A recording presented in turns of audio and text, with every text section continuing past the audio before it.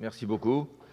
Euh, bonjour à toutes et tous. D'abord, un grand merci au professeur Callas et au Collège de France pour m'avoir convié depuis la lointaine Australie, où je m'occupe d'un programme français de coopération qui vise à renforcer le dialogue sur tous les sujets de société entre le Pacifique francophone, donc Nouvelle-Calédonie, Polynésie, Wallis et Futuna, et son environnement anglophone dans toute cette région. Si vous voulez en savoir plus, euh, regardez le site Pacifique Dialogue.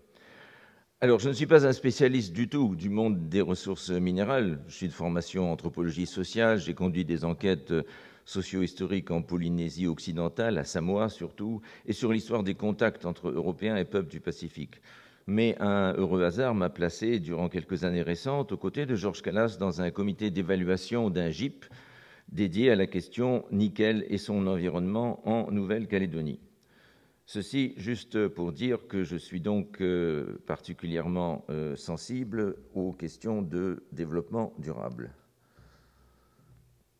Euh, c'est pourquoi, effectivement, j'ai accepté de prendre la parole ici. Alors, un clin d'œil historique d'abord. Depuis l'arrivée des Européens dans le Pacifique au XVIe siècle et jusqu'au changement radical en Nouvelle-Calédonie, maintenant dans les années 1990, dont on parlera, les Européens ont considéré le sous-sol, et même le sol, des terres découvertes par eux comme étant libres de droit et donc bons euh, à exploiter, certains diront même bons à piller. Euh, au XVIe siècle, les Espagnols sont avides de poursuivre sur de nouvelles terres les profits engrangés dans leurs colonies du Nouveau Monde.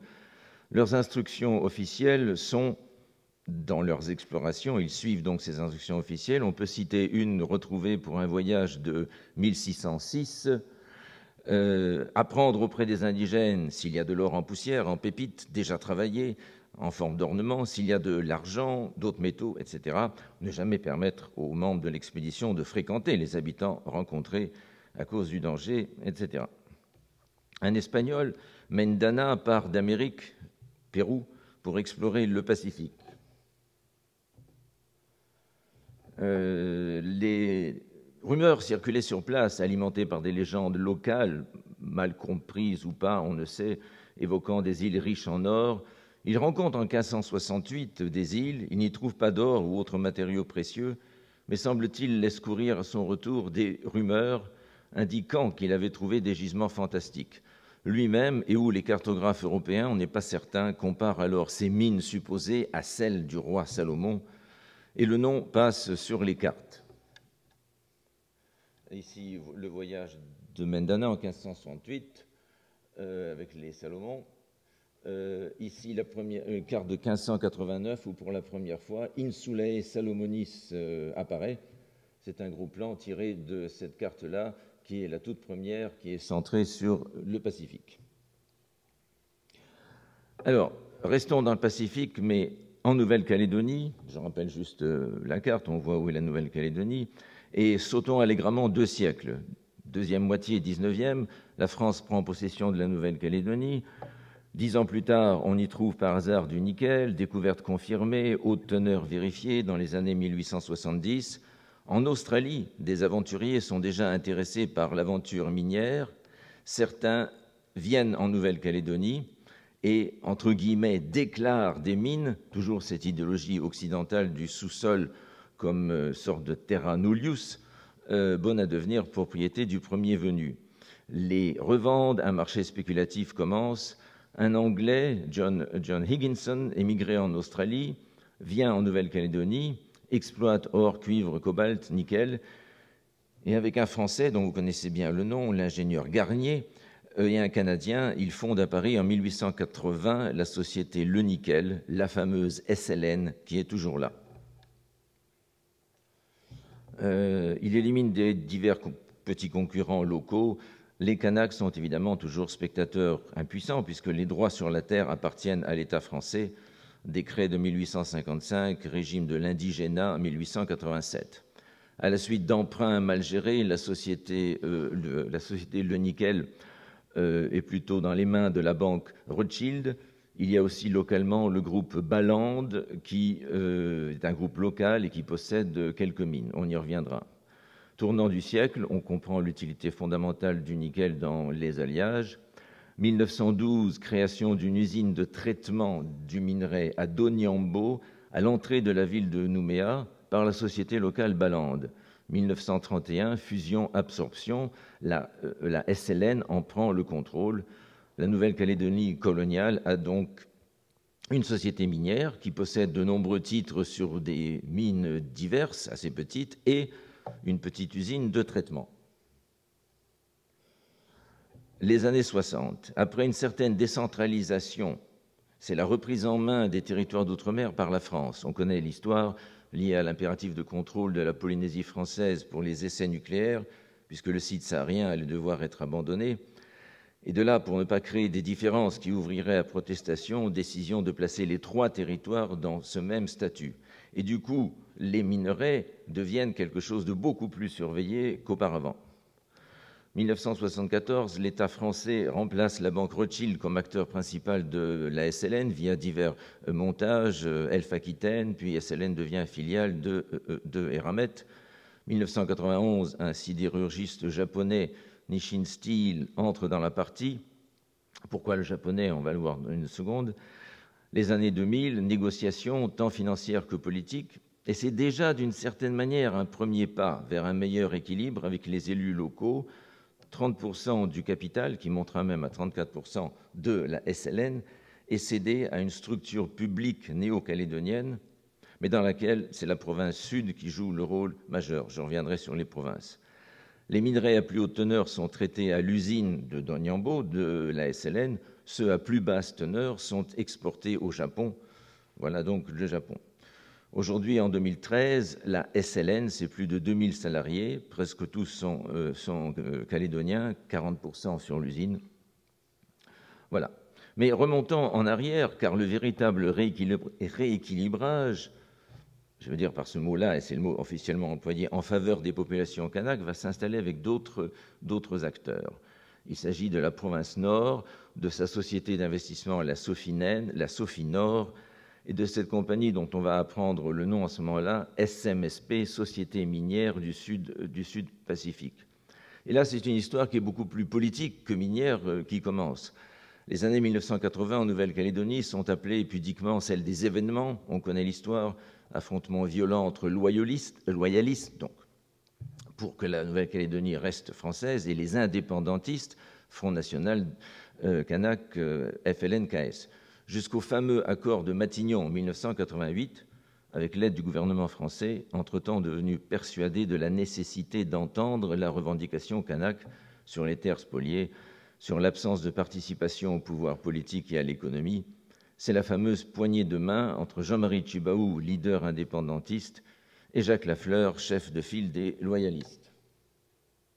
Euh, une carte ici qui indique juste les trois provinces qui ont été créées à ce moment-là dans les accords de Matignon, province nord, province sud, province des îles. La province nord essentiellement, euh, rurale, essentiellement peuplée de populations kanak. La province sud, beaucoup plus urbaine, c'est là qu'on a Nouméa, euh, peuplé davantage de descendants de colons, caldoches, etc., et de descendants plus récents, et la petite province des îles sur le côté. Euh, donc, cette, cette, poignée de main, c'est l'accord de Matignon, c'est la création des trois, provinces, comme je viens de le, rappeler. Mais le, le Front de libération kanak, Jean-Marie Chibaou, disons, veut éviter que ce partage, le partage des provinces qu'on vient de voir ici, ne relègue les Kanaks dans un ghetto du Nord sans aucune ressource. Tibaou insiste auprès des siens qu'une indépendance politique sans indépendance économique n'est pas viable. Lui-même disparaît un an plus tard, euh, un assassinat en 1989 par un indépendantiste qui n'avait jamais accepté la poignée de main de 1988, mais ses proches à la province Nord continuent Léopold Jorédier, Raphaël Pidgeot, Paul Néoutine, et obtiennent, toujours avec le soutien politique du gouvernement français, la création d'une société d'investissement pour la province Nord, la Sophie Nord, et obtiennent en 1990 le rachat d'une entreprise minière locale détenue par le leader loyaliste Jacques Lafleur, la, la SMSP, Société minière du Sud, Pacifique. Une petite société, mais qui est déjà une société minière euh, l'État français demande à la fleur de la vendre et compense financièrement largement. C'est à ce moment-là, 1990, que la province Nord appelle un ami de longue date, un certain M. André Dang, qui alors est en Australie, mais déjà âgé de plus de 50 ans. Une digression euh, rapide sur euh, ce monsieur, qui va jouer à partir de là un rôle, crucial euh, Anne Pitoiset a publié plusieurs articles, vous pouvez voir dans le journal Le Point en 2010, euh, de, brèves biographies. Dang est né en Nouvelle-Calédonie en 1936 de parents qui ont fui la misère en Indochine. Il devient un bon commerçant très jeune. Euh, il commence, c'est la, la, légende, mais elle n'a pas été contredite, par vendre des petits objets souvenirs qu'il fabrique lui-même aux soldats, aux soldats américains, plusieurs milliers quand même, qui sont stationnés en Nouvelle-Calédonie dans les années 42-46. Puis, il devient vendeur et puis importateur de, euh, véhicules euh, d'Asie, euh, Toyota surtout, puis d'autres, ayant aussi du succès en acceptant facilement, au contraire d'autres commerçants, une clientèle kanak. Il développe une station essence, d'autres affaires, par divers hasards rencontre Jean-Marie Chibaou, le le leader indépendantiste dont je parlais, une grande amitié s'en suivra. Dang est évidemment rejeté par l'establishment loyaliste qui voit en lui, je cite, un agent des communistes vietnamiens et un indépendantiste, un comble, dira-t-on, alors qu'il n'est même pas euh, kanak. Pourchassé par, euh, par eux, euh, les, loyalistes pendant les années des événements, les années 80, directement menacé, lui et sa famille, on mettra le feu à, sa station essence, il part en Australie où il continue à réussir dans les affaires. Il est, appelé par Raphaël Pidgeot, je l'ai dit en 90, revient et accepte la présidence de cette nouvelle, nouvelle SMSP qui maintenant est donc cette petite société minière dans les mains de la province Nord.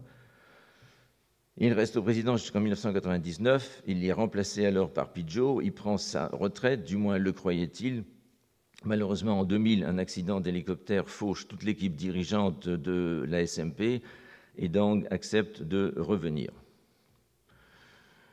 Euh, au début des années 90, tout de suite, première discussion en interne dans la province Nord vers l'idée d'une usine de traitement dans le Nord pour ne pas dépendre de l'usine de la SLN à Nouméa, à Donyambo, pour traiter le minerai des différentes mines euh, acquises. Mais alors, avec qui s'allier? Euh, on raconte que la SMSP sont de, sont, euh, de Eramet, euh, qui refuse, à la fois pour des raisons politiques, mais aussi ne croyant pas un instant à la viabilité d'une deuxième usine dans le pays. Pidgeot et Dang, André Dang, contactent divers partenaires potentiels, voyagent beaucoup, réussissent à intéresser le Canadien Falcon Bridge. Ensuite, c'est une autre histoire, peu importe, Falcon Bridge et racheté par le Suisse Xtrata, lui-même absorbé ensuite par l'anglo-suisse Glencore, et réussit à lui faire accepter l'idée que la province Nord va contrôler à 51% la future usine. C'est le début de cette règle jusqu'alors impensable dans le monde des affaires que Dang va, euh, va appliquer ensuite avec la Corée, la règle des 51%. Mais ce plan nécessite de pouvoir utiliser sur place, dans le nord, le massif du Cognambo, qui est placé dans le nord, qui est placé à proximité d'une côte en eau profonde, ce qui permettra un port et des exportations vers les pays asiatiques. Il savait aussi, même si d'autres n'y croyaient pas, que le Cognambo recelait plus de minerais en quantité et en teneur qu'on ne le disait. L'accord de Matignon de 1988 était limité dans le temps. Il fallait aller vers un accord politique plus global. Ce sera le fameux accord de Nouméa en 1998. Mais le Front Kanak pose un préalable minier, et là encore avec le soutien français. Euh, la SMSP, donc la compagnie gérée par la province Nord, va échanger avec la SLN deux massifs. Le massif de Poum, que la province Nord possédait, mais qui est sur la côte Est, contre celui du Cognambo que la, SLN détenait. Plus ou moins contrainte, dit-on sans vraiment savoir la valeur du massif, euh, la SLN signe en février 1998. Euh, SLN avait aussi une perspective. L'accord stipulait que la validité était subordonnée à la création d'une usine de traitement dans le Nord, et ceci devait être acté avant 2006. Sinon, le Cognambo retournait à son ancien propriétaire. Euh, euh, reçoit de l'État aussi un dédommagement de centaines de millions d'euros L'accord de Nouméa, donc, tel qu'il est appelé, peut, être signé trois mois plus tard entre les loyalistes et le front, et le front kanak. Donc on a maintenant dans le Nord un plan partenarial, on a un massif et on a un plan partenarial pour construire euh, une usine qui sera achevée, si je ne me trompe, en 2012. L'usine du Nord, c'est la filière onshore, comme ils disent euh, là-bas, qui est surtout pour un minerai de plus haute teneur. Que faire alors des minerais de plus basse euh, teneur? Un certain nombre de mines que la SMSP avait. Dang ne s'arrête pas là. Quand je dis Dang, c'est lui et ses amis de la province Nord, également le président Néoutine, car le minerai traité dans l'usine, il faudra encore le, euh, le vendre aux aciéristes, il faudra passer par des traders, il faudra l'exporter. En outre, comme je viens de le dire, euh, la SMSP a un capital minier qui comporte des minerais à basse teneur aussi, que l'usine du Nord ne peut pas traiter. Des centaines d'emplois sont ainsi menacés dans ces petites mines. Entre-temps, bien sûr, euh, la SMSP exporte, elle n'attend pas l'usine, réalise des bénéfices assez évidents en 2004-2005. Ce sont des ventes vers le Japon de minerais de haute teneur. Mais la durée de vie de ces gisements n'est pas très longue. Dang a alors l'idée en 2005 de s'adresser en Corée directement à l'aciériste principal de la Corée, POSCO, en lui proposant de construire une usine de traitement. Alors que jusque-là, POSCO simplement produisait de l'acier avec du nickel déjà, déjà traité. Comment persuader POSCO En lui disant qu'au contraire des exportateurs habituels de minerais, la, euh, la, SMSP, disons la province Nord, ne demandera aucune royalties pour le minerai produit. Elle propose simplement un partenariat où elle contrôlera 51% du produit de la transformation et de la construction de l'usine. Dans cette logique, la province Nord apporte dans le partenariat 49% euh, de son domaine minier, donc euh, SMSP, sans parler du Cognambo. Euh, ce, domaine minier est valorisé à 170 millions de dollars. On mesure la stratégie. la SMSP n'a pratiquement pas le sou. elle obtient un partenariat des millions de dollars par la valorisation sur le papier de son domaine minier, fondé sur le raisonnement simple le bénéfice d'une tonne de brut exportée une fois tous les frais payés est multiplié par 20 si le bénéfice est cette fois le produit final du métal en possédant toute la filière euh, métallurgique. POSCO signe en 2006. L'usine est commencée tout de suite et est achevée avant terme même, mise en production en octobre 2008. C'est du jamais vu. POSCO a donc, tout est là, la garantie d'un approvisionnement en minerais sur 49% du domaine minier de la SMSP, et donc euh, un partenariat, comme je l'ai dit, avec euh, la SMSP. 2008, euh, l'usine est inaugurée. Le problème, le problème actuel, et j'arrive à la fin, c'est assurer la livraison. Or, les sites SMSP en Nouvelle-Calédonie sont dispersés, le matériel vétuste. POSCO est obligé d'investir. Évidemment, il est partenaire à 49% du parc minier de la SMSP. Et donc, lorsque Dang et les siens, euh, et il le voit lui-même, disent nos mines sont très anciennes et c'est pour ça qu'on produit très peu, c'est POSCO qui les rénove. Euh, un des avantages aussi de ce, partenariat euh, qui a été créé. La suite, bien pas plus tard que hier, la SLN a révélé un accord déjà signé en mars dernier mais dont on n'avait pas parlé, selon lequel euh, la SLN accepte de livrer 350 000 tonnes par an de minerais à la compagnie qui a mis ensemble la province Nord et POSCO euh, en Corée. Euh, Dang a ce discours dans, tout, dans, tout, le pays depuis quelque temps. Tout le monde doit se sentir engagé dans cet avenir qui est selon lui pour tout le pays l'accord avec les Coréens éventuellement même faire euh, la même chose ensuite, euh, ensuite en Chine. C'est ça qui est l'avenir du pays. Il me disait aussi tout récemment qu'il voulait ouvrir le capital de ses compagnies à la, euh, à la, à la SLN. Pardon. Je termine sur le développement durable. Dang me disait récemment l'immense importance de posséder en partie les usines de traitement. Le jour, me disait-il, où le nickel de la Nouvelle-Calédonie est épuisé, 10 ans pour des hautes teneurs, 50 ans plus pour les plus basses, il restera ce capital, ce capital usine qui est, qui est évalué, dit-il, à 500 milliards de francs, de francs pacifiques, c'est-à-dire 5 milliards d'euros chacune des deux, euh, des deux usines, qui, à ce moment-là, pourraient être soit revendues, soit utilisées pour traiter du minerai fourni par d'autres pays. Euh, voilà M. Dang, euh, aujourd'hui. oui, j'aurais dû passer les diapos un petit peu plus vite. là, nous, parlions de la vente SMSP, où, dans l'accord de Matignon, Jacques Lafleur a été obligé de vendre, mais il y a eu quand même de bonnes compensations. Euh, euh, l'agrément minier de 1998, juste avant l'accord de Nouméa, mais que les, que avaient posé comme une condition. Euh, la persuasion de Falcon Bridge, ce que je viens de dire, oui, pardon, j'aurais dû passer ça pour nos amis anglophones. les débuts des conversations avec POSCO, et le fait que euh, c'est un accord où, au fond, la Nouvelle-Calédonie n'est pas venue avec de l'argent sonnant, euh, et trébuchant. Euh, le développement durable dont je viens de parler, le fait qu'il évalue, il, n'est pas le seul à, le dire, à 500, 5000 millions de dollars, j'ai peut-être fait une erreur ici, les usines, puisque c'est... Non, c'est ça, oui. Euh, une image euh, de l'usine du Nord, euh, la visite en 2011 de l'usine du Nord. On voit à côté de Sarkozy Dang et le président de la province Nord, Paul Niaoutine, dont j'ai peu parlé, mais qui a joué un rôle absolument crucial pendant toute cette affaire avec Dang, pendant toutes, ces années. Et l'usine de Corée qui a été construite en deux ans et demi à partir de rien. Voilà, je vous remercie.